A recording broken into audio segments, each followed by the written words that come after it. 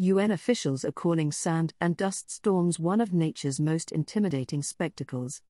These colossal forces of nature are a seasonal natural phenomenon, but up to 25% of them can now be attributed to human driven factors, such as poor land management and climate change.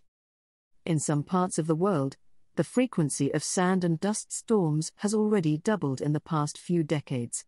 It's now estimated that 2 billion tons of sand and dust enter the atmosphere every year. That's equal in weight to 350 Great Pyramids of Giza. This kind of thing could be set to become increasingly common in many parts of the world due to poor land and water management, plus droughts driven by climate change.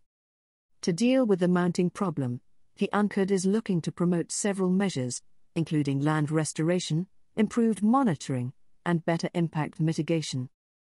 More awesome content awaits. Subscribe.